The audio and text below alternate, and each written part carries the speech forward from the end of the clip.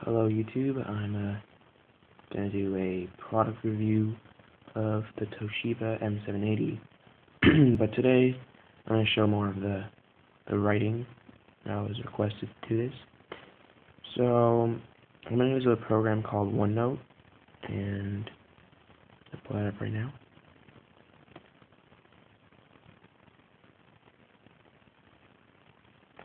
Okay, so here's OneNote, and um,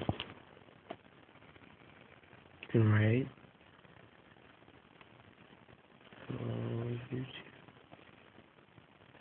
Um, there's multiple. I can make it in uh, green.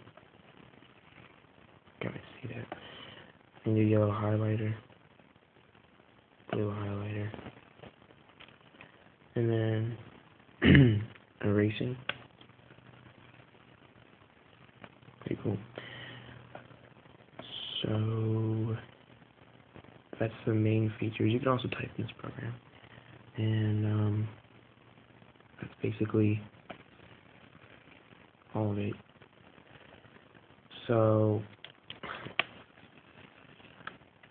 already comment and uh, just keep asking me if you want to do more um, of these kind of things and what else you want to see about the computer.